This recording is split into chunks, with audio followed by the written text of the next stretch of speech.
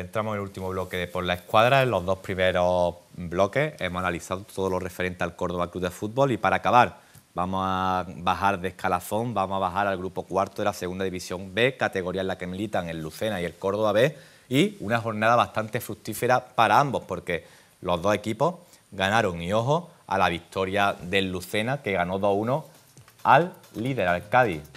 Gran debut de Falete. En el debut de Falete, victoria por dos goles a uno y también. Magnífica victoria, nadie se lo esperaba. Contra pronóstico. Y el Córdoba B que ganó 1-0 al Arroyo. Resto de resultados: Melilla 1, La Hoya 1, Cacereño 1, Ucan 0, Sevilla Atlético 2, Granada B 2, San Roque 2, Marbella 3, Almería B 2, La Roda 0, El Palo 1, Jaén 1, Linense 0, Betis B 0, El Lucena 2, Cádiz 1, Cartagena 2 0, Villanovense 0 y triunfo del Córdoba B ante el Arroyo 1-0. Después de estos resultados, analizamos la clasificación, profesor, y ojo, que... Ya no es el último. Que lo mejor es que ya está a dos puntos el Córdoba B y a un punto nada más Lucena de salvarse, quedando cuatro partidos en juego.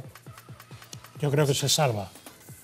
Así que el final de liga, eso sí, muy competitivo para ambos, no pueden fallar. Muy complicado, pero se van a salvar. Esperemos que se salven ambos conjuntos. Y para finalizar, cambiamos de deporte porque vamos a analizar lo que hizo el Vival de baloncesto. Victoria del equipo cordobés en el grupo E de la Liga EVA en baloncesto. Córdoba, grupo D de la Liga EVA, ese triunfo del Vival por 83-66 ante el Nova en un partido en el que el equipo de Junior en el segundo cuarto pues pasó bastante apuros, pero luego en el tercero y el cuarto se sobrepuso.